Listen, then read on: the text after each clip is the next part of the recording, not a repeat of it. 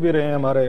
ایک آپ نے بڑا خوبصورت فریز آپ یوز کرتے ہیں۔ سارے جو انگلش بیک گراؤنڈ جرنلزم سے آئے ہیں کہ buck stop at the prime minister office buck stop somewhere تو الٹیمیٹلی جو بندہ ہمیں یہ کہے گا بیس بائیس سال تک کہ I will handle everyone I will manage everyone مجھ سے بہترین مسئلوں کو کوئی نہیں سمجھتا؟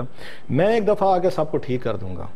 تو میرا خیال انہی سے یہ سوالات بنتے ہیں، انہی سے جوابات بنتے ہیں کہ آپ کہتے تھے میرے پاس بیسٹ ٹیم ہے بیسٹ لوگ ہیں آنیسٹ پیپل ہیں، خود میں آنیسٹ ہوں اور کسی کو نہ میں چوری کرنے دوں گا، نہ میں خود کروں گا۔ اب یہ پتا چلا ہے کہ دو سالوں میں اتنی ساری چوریاں ہو گئی ہیں، اتنی چوریاں ہوں گی اب اس کی کاؤنٹنگ ایسا ایسا میں بھولتی جا رہی ہے کہ ہمیں یاد کرنا پڑے گا کہ جناب کہ اچھا یہ بھی تھا، یہ بھی تھا، وہ بھی تھا۔ خان صاحب نے جو بلڈ کی تھی نا اپنی اپنی کریڈیبلٹی یہ کریڈیبلٹی بڑی قیمتی ایک چیز ہوتی ہے۔ یہ اس طرح کے آگے دو نمبری لوگوں کے لیے آپ کو ظاہر نہیں کرنی چاہیے ادھر ادھر کو بیٹھے کسی نے چندہ دے دیا، کسی نے گاڑی دے دی، کسی نے کچھ فیور کر دی تو اس کو آپ نے لوٹ مارے۔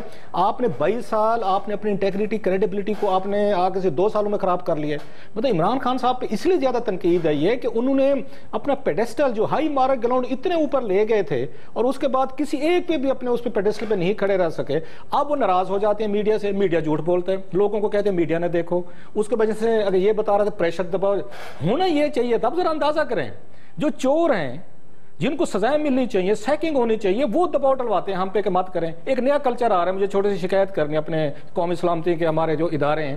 پہلے یہ ہوتا تھا کہ جب کوئی سٹوری بریک ہوتی تھی، چیزیں ہوتی تھی رپورٹر جرنلسٹ کوئی ٹی وی یا کوئی اخبار کرتا تھا they used to go after them یہ نیا ٹرینڈ آگے پچھلے کچھ عرصے سے کہ آپ کسی منسٹر پہ سٹوری کریں، کسی بڑے بندے پہ سٹوری کریں، کوئی ایڈوائزر پہ کریں، یہ قومی سلامتی کے ادارے آپ کے پیچھے آ جاتے ہیں۔ اس نے کہا نا، انہوں نے کہا، یار تمہیں زیادہ پتا ہے۔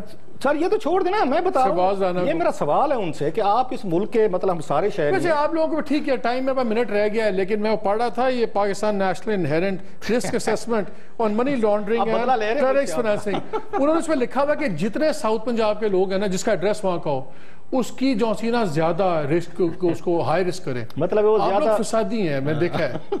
میں چلیں اس پہ بھی لاغ علیحدہ کروں گا۔ آپ نے بڑا اچھا میرے اوپر جاتے جاتے حملہ فرمایا ہے۔ ابھی ٹائم نہیں ہے پھر کریں گے۔ اس پہ فردا از آب باش شکری خورم